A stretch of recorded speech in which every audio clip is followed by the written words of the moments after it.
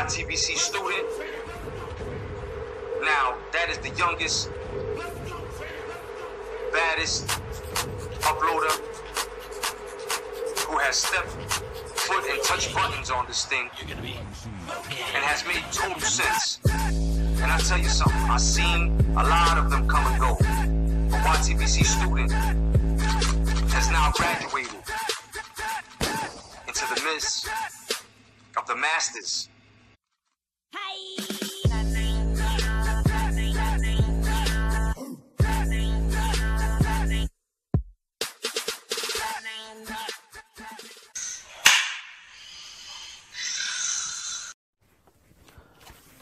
What up, everybody who talks boxing, comments about boxing, and makes boxing videos?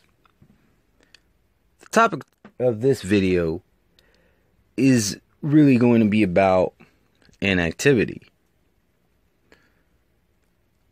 Inactivity is something that we are seeing more and more in boxing today. I mean, fighters just don't fight as much as they used to. And, you know, some people might say that's the Mayweather blueprint, which to a certain extent I agree. But on the same token, you know, that's not something that Mayweather was the first to do. There's other fighters who have done it before him. And I'm sure we're going to see many continue to do it since him you know, and uh, and it's unfortunate, but it's something that we do see more and more out of the bigger names in boxing. You know, it when I was on the hangout, we talked a lot about inactivity and fighters who are really guilty of this you know, is one of the one of the big things that is really hurting the sport right now. I mean, you got fighters like David Lemieux, if I'm not mistaken, his last fight was when he fought Triple G, and that's been over a year. And he lost that fight. Why have we not seen David Lemieux come back? Look at um, Charles Martin he hasn't been in the ring since he lost to Anthony Joshua, which was early to mid 2016. I don't remember the exact date, but it was, uh, you know, it was a while ago. Got Danny Garcia, who fought way at the beginning of the year and then fights one more time way at the end. And then, of course, my one of my favorite fighters, Keith Thurman. As much respect and as much of a fan I am, you know, as much respect I have for him and as much of a fan I am of his, he's way too inactive. He fought Luis Collazo back in July of 2015. His next fight was wasn't until um, what was it? I think July, July or August of 2016, somewhere in there. There's no excuse for the inactivity. And, you know, I think that's one of the things that, whether you agree with his resume or not, Triple G is very active. I think that's one of the reasons why fans like him is because not only how he disposes of his opponents, and I do think his opponents are a little bit better than what some people want to give him credit for. I mean, I'm not going to lie, they aren't the absolute best, but I do think that a lot of people tend to downplay his opposition as well. It's somewhere in the middle. You got you got a lot of people from one extreme to the other. You got people acting like he has the worst resume in boxing, and then you got people acting like he has the best resume in boxing. When really, he's somewhere in the middle of that in reality. But, not to get off topic, but let me get back to what I was saying. One of the reasons why the Triple G fans like him so much is because of how active he actually is You don't have you normally don't have to wait six months till his, six, seven, eight, nine, ten months till his next fight. You usually got another fight to look forward to in the next three months. Look at Luis Ortiz. Now he had a little bit of a layoff, but he, you know, and, and not saying that fighters can't take layoffs, by the way. It's just, you know, some fighters are taking consecutive layoffs. you know, they're only fighting one time a year. But then you got Luis Ortiz, who, you know, he was, he took a little bit of a layoff for about six, seven, eight months.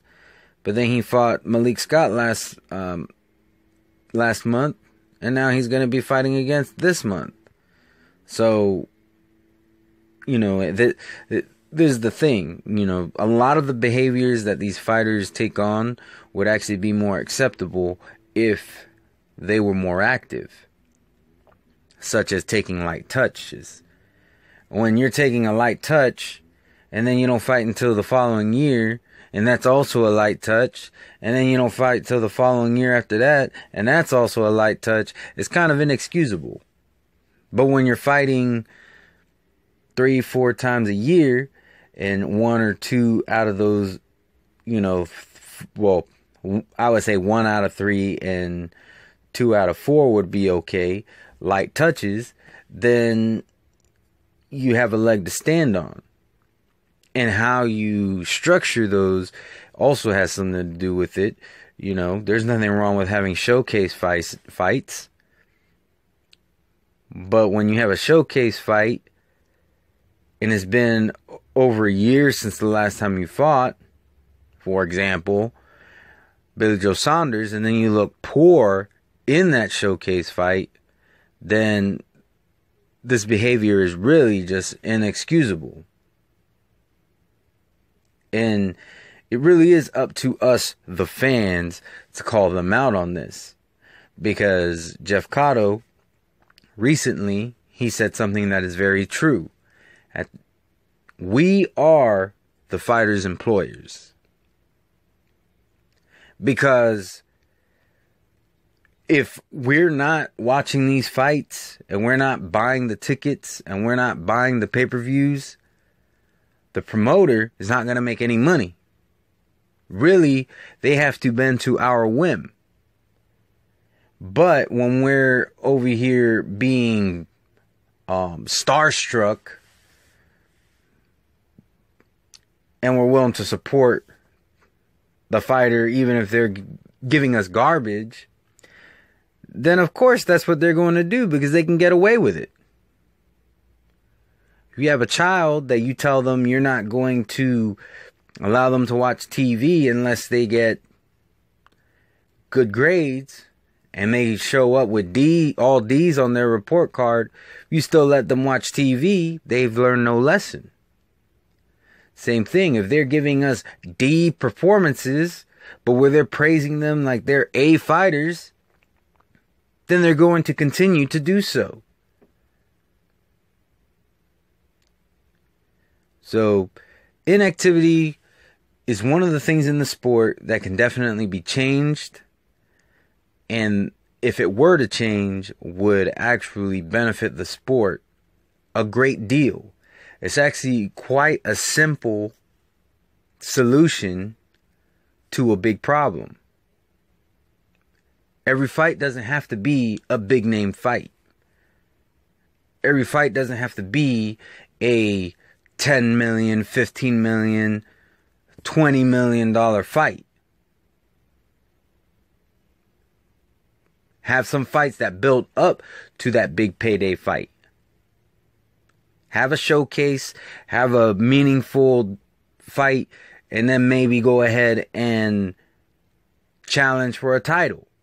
Or if you are the title holder, have a showcase, have a mandatory defense, and then a unification. Have these build-ups. There's nothing wrong with building up a fight, but that build-up doesn't need to be years in the in in the works. It just doesn't make any sense. These guys are wasting their prime with inactivity. So, like I said, I think this is something that can really, really be fixed quite easily. Not only that, but you know, if you really think about it, the more you fight, the more money you make.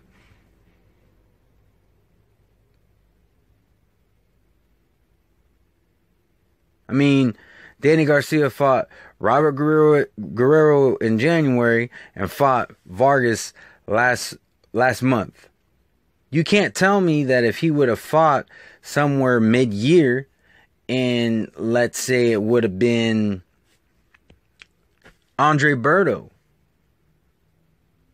that would have been a fight that he could have made a little bit more money than the Guerrero fight and the um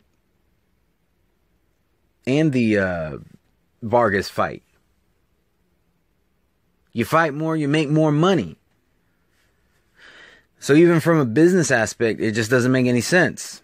So this is like I said, a simple solution to a big problem we have in the sport. Even some of my favorite fighters are guilty of it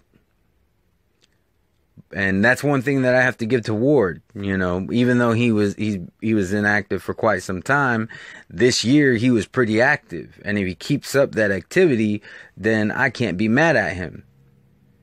Even if he is taking a soft touch here and there. Now, don't get me wrong, you don't fight five times in a year and all five be soft touches either. Because now you're just milking. I don't like that. But in a sense, Andre Ward is on the right path. He just needs to stop playing around and do that rematch. Stop giving these diplomatic answers. Well, my team this and all this other stuff. Like, you know, I, I don't care about any of that. Just make the fight. Anyways, these are my thoughts on the inactivity in the sport of boxing to all my subscribers, anybody watching my videos, or if you just so happen to stump on this video, hope you have a wonderful and blessed day. Peace. Y'all watching YouTube videos, man? Gee, thanks. Don't forget to subscribe. Thanks. I am so authentic. I'm so authentic. They trying to figure me out, but this is not a gimmick. Hi, hip hop. Don't act like you don't know me. What? We got the same mama. Don't you try to disown me. I'm just a mixed breed. Call me a day walker. Cause I walk in the sun, but at night I'm a stalker. If you looking for blood, come run in my lane. The fame never runs dry. There's plenty of it, man. I speak an ancient language. They don't understand me. It's called the truth. I break it down. They try to reprimand me.